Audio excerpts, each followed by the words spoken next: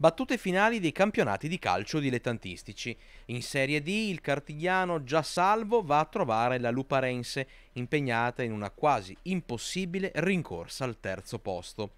In eccellenza, occhi puntati sul derigo di Schio per il play-out tra giallorossi e Cologna Veneta, con ingresso gratuito allo stadio. In promozione continua il testa a testa tra la Rocca Altavilla e Marosticense, mentre il derby Rosà-Eurocassola serve solo per l'onore territoriale, visto che i cassolesi hanno già vinto il campionato.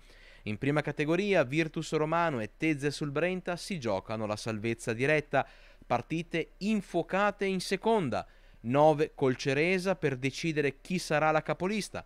Alla Stella Azzurra Sant'Anna invece manca un punto per laurearsi campione.